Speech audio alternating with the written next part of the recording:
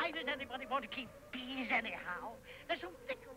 If they want to fly away, let them fly away. They will fly away. When they get the swarming fever, unless we make so much noise, they'll stop and settle down again. They're going to settle in that tree. Look. Be ready to take them off the Yes. Every time I eat a mouthful of honey, I'll think what lose me from doing this. Who wrote the bee song? All together now.